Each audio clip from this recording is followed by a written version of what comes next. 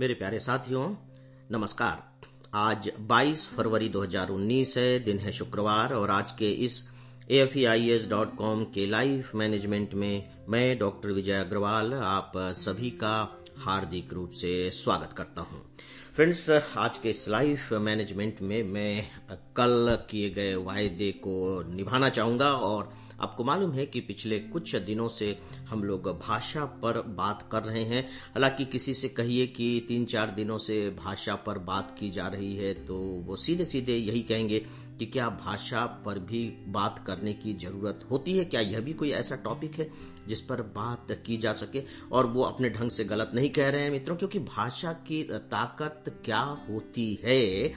इन सबका हम सबके पास अनुभव तो है एहसास तो है, लेकिन इसकी ज़रूरत का अनुभव नहीं है, आप कह लीजिए। हमारे दिमाग ने अभी तक इस बात को स्वीकार नहीं किया है कि नहीं, मुझे अपनी भाषा को दुरुस्त करना है।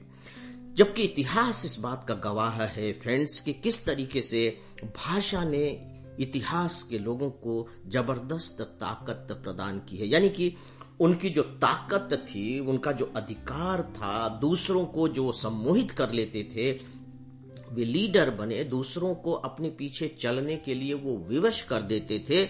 उसका एक बहुत बड़ा कारण, उसका एक बहुत बड़ा आधार उनकी अपनी भाषा ही थी।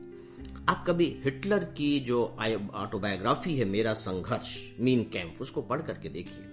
जगह जगह पर आप पाएँगे कि हिटलर किस तरीके से भाषा का इस्तेमाल करता था, भाषा पर मेहनत करता था और केवल भाषा पर ही मेहनत नहीं करता था, बल्कि जहाँ भी उसे भाषण देना है, अपनी बात कहनी है, उस पूरे के पूरे वातावरण पर उसका ध्यान रहता था ताकि उसकी भाषा का ज़बरदस्त प्रभाव सुनने वालों पर पड़ सके।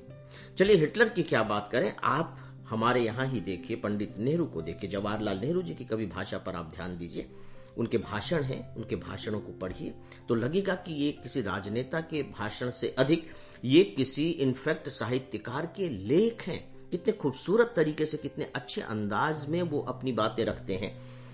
उनको तो आप लोगों ने लाइव नहीं सुना होगा, लेकिन अटल बिहारी वाजपेयी जी को शायद सुनने का आप लोगों को अवसर मिला हो, बिल्कुल जीवंत तरीके से। आमने सामने अगर आमने सामने नहीं तो टीवी चैनल्स के माध्यम से। आप देखिए कि उनकी भाषा में किस तरह के शब्दों के प्रयोग होते हैं, उनका टोन क्या होता है। भाषा में जो उतार चढ़ाव आने चाहिए, जो रुकना चाहिए बोलते समय, कितने खूबसूरत तरीके से वो अपनी बातें रखते हैं वाजपेयी जी और उनकी जो सबसे बड़ी ताकत थी, नो डाउट कि चरित्र, व्यक्तित्व, वो तो ताकत होती ही है, लेकिन एक राजनेता के रूप में उनकी जो सबसे बड़ी ताकत जो मैं समझ पाया हूँ, वो भाषा थी। अगर अभी हमारे प्रधानमंत्री नरेंद्र मोदी जी को देखें तो वो भाषा को भाषा पर ध्यान दीजिए।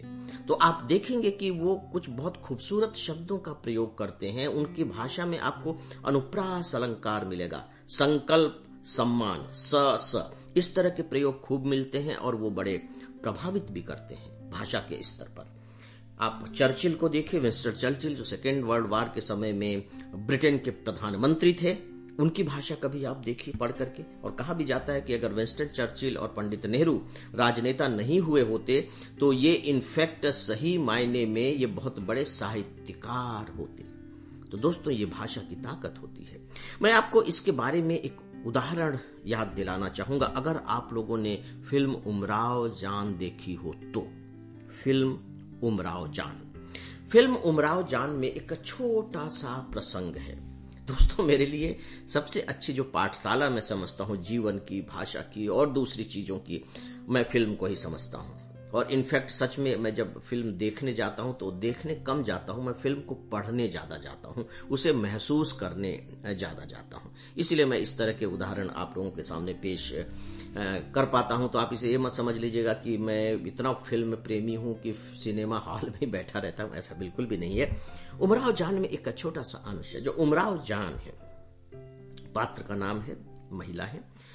वो चाहती है कि मैं भी गज़ल लिखूं, ठीक है? तो अपने उस्ताद के पास जाती है, एक गज़ल लेकर के कि देखिए, उस्ताद मैंने ये लिखी है, इसको जरा सा आप देख लीजिए, मुझे इसे पढ़ने के बाद बताइए कि क्या करना चाहिए।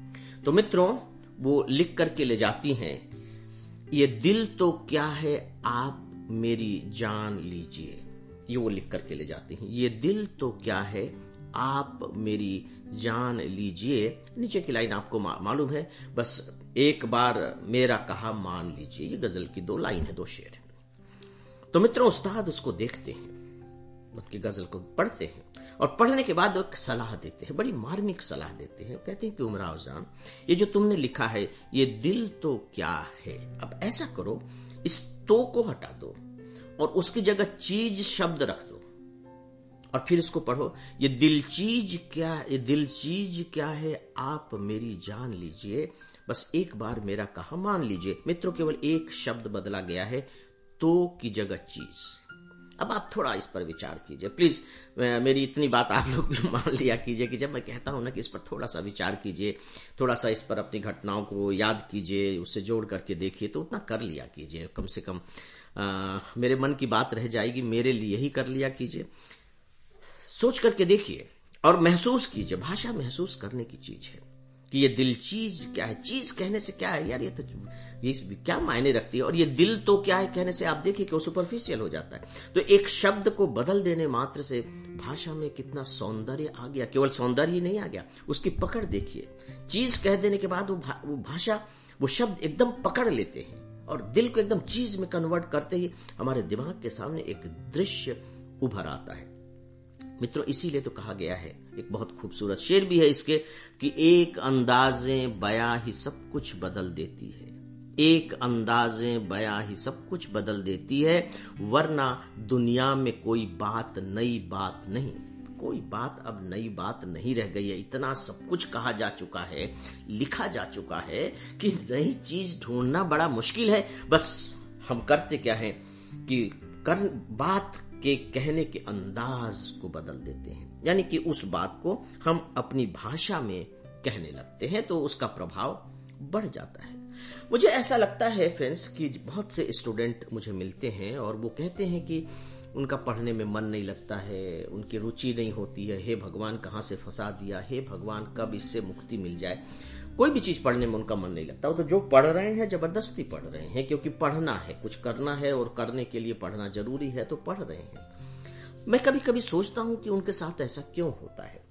मेरी अपनी सीमा है, मेरे साथ ऐसा नहीं हुआ है। पढ़ना तो मेरा सबसे बड़ा शौक है, मनोरंजन है, सब कुछ है, जीवन का आधार है।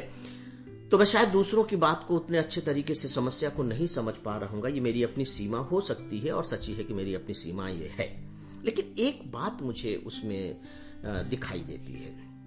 वो ये है कि उन्हें पढ़ने में शायद इसलिए मज़ा नहीं आता है, क्योंकि वो पढ़ते समय जो भाषा का स्वाद होता है, वो नहीं ले पाते।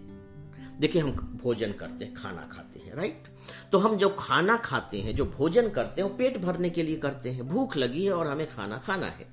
तो ठीक है, हम खाना खा लेते हैं क्योंकि पेट भरना है। इसका मतलब है कि जो कुछ भी मिले, भैया, दे दो।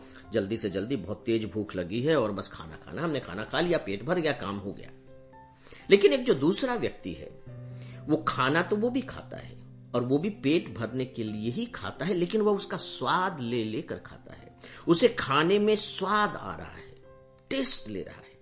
तो मुझे लगता है कि अगर पढ़ने में हमें स्वाद आने लगे, मज़ा आने लगे तो क्या सच में पढ़ना बोझ हो जाएगा? मुझे लगता है कि नहीं, बोझ नहीं रह जाएगा। तो अब सवाल यह है कि पढ़ने में स्वाद आए कैसे? मुझे लगता है मित्रों कि जैसे ही हम भाषा का स्वाद लेने की स्थिति में अपने को पहुँचा देते हैं, पढ़ने का स्वाद आने लगता है। क्योंकि मैंने देखा है कि स्टूडेंट के पास भाषा की वो समझ नहीं है कि वो भाषा का स्वाद ले सके।